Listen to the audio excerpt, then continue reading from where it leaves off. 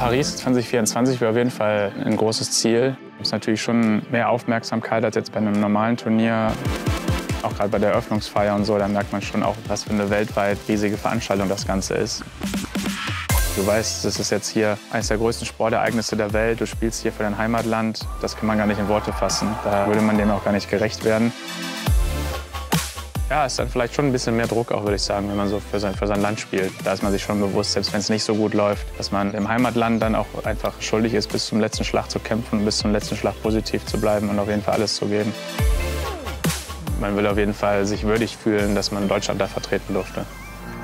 Wenn du dann wirklich auch im Dorf bist, da hast du gar nicht mehr das Gefühl, dass es eigentlich so eine große Bühne ist. Das ist dann relativ klein, bescheiden und familiär. Das war schon eine ganz, ganz besondere Atmosphäre, das miterleben zu dürfen.